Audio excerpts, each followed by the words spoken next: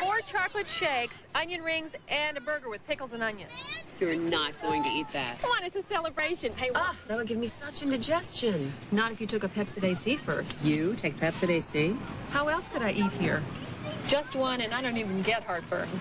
So no more Tums for you, huh? Hey, Mom, want an onion ring? Before or after, you can be heartburn free with Pepcid AC.